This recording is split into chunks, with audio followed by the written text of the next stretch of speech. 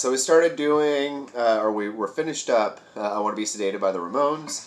Um, we're really only using three chords the whole time. We got this power chord, this one.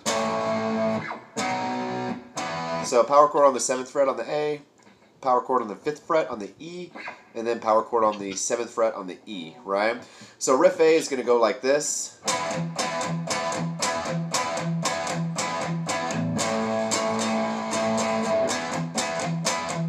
Right? And that counts as one time. So we do two measure first chord, one measure of the second chord, and then one measure of the first chord.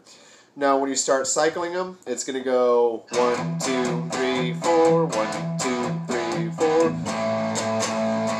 one, two, three, four,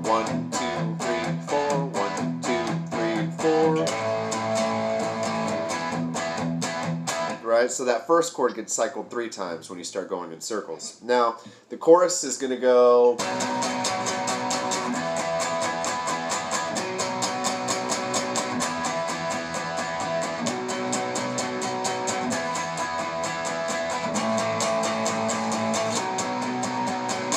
Right? And then we have the solo riff, which is going to go...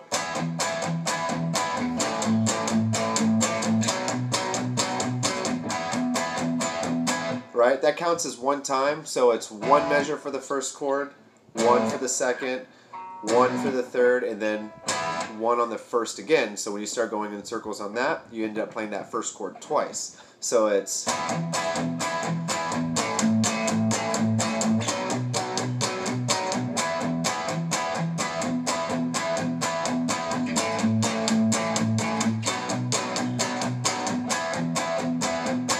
And then you take everything up and uh, on the key change, we start playing everything on 9, 7, and 9, right? So riff A.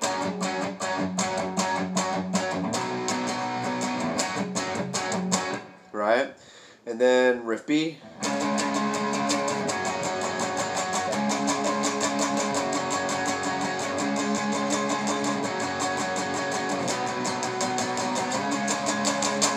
and then riff C.